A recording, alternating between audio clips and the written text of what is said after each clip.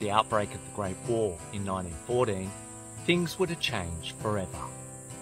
As the gold supply continued to fall behind the growth of the global economy, the British pound sterling and US dollar became the global reserve currencies.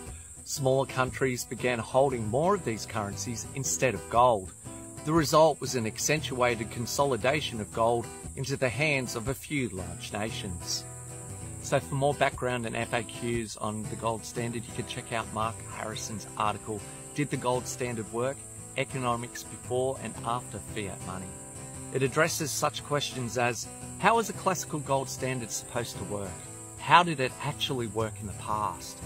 Why did previous versions of the international reserve currency lose its mantle? So what's the record of the international fiat dollar as a world reserve currency?